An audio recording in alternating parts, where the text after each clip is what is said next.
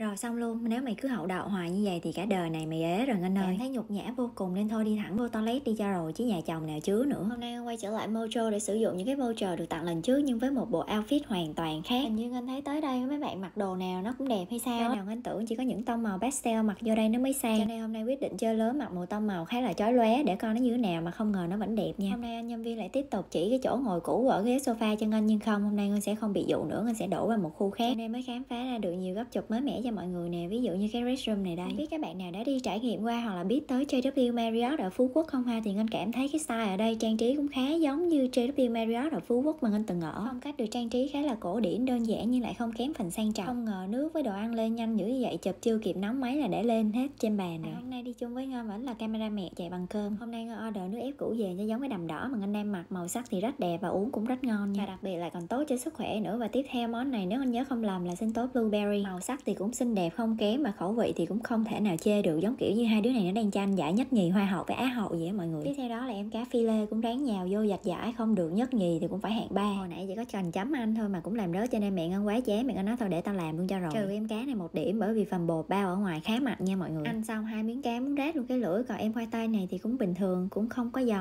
cũng không có gì đặc sắc mà cũng ok không quá dở. Nha ăn xong thì lo tranh thủ đi về trước khi trời mưa và bây giờ ngân vẫn còn hai cái voucher nữa cho nên hẹn các bạn ở những bộ outfit tiếp theo. Anh chấm điểm cao cho sự nhiệt tình của anh bảo vệ giữ xe ở đây nha cho nên bạn này đi xe máy thì khỏi phải lo. Vì dễ thương và thân thiện cho 10 điểm. Bye